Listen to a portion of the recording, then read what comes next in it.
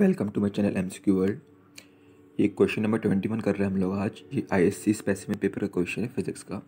देखिए, इस क्वेश्चन में क्या बोल रहे हैं वो? कि हम लोग को फ्रिक्वेंसी निकालनी है और हम लोग को एक साइन वेव दे रखी है।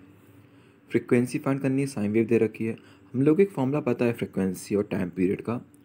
जो एफ़ होता है अपना, वो वन बाय टी होता है। F is equal one by T होता है। उसके पहले टाइम पीरियड अगर पता कर ले हम लोग किसी तरीके से तो फ्रिक्वेंसी आराम से निकाल सकते हैं। ये देखिए टाइम पीरियड क्या होता है, जहाँ से वेव दोबारा रिपीट होना चालू हो रही है।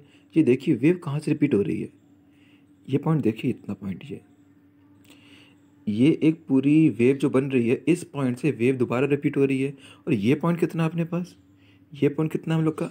ज़ीरो पॉइंट वन ज़ीरो देखिए, इधर से लेके इधर तक इधर से लेके इधर तक ये इतना डिस्टेंस में ये टाइम पीरियड है क्योंकि इतना पोर्शन फिर से ये रिपीट हो रहा है। तो हम लोग बोल सकते हैं टी की वैल्यू कितनी है अपनी?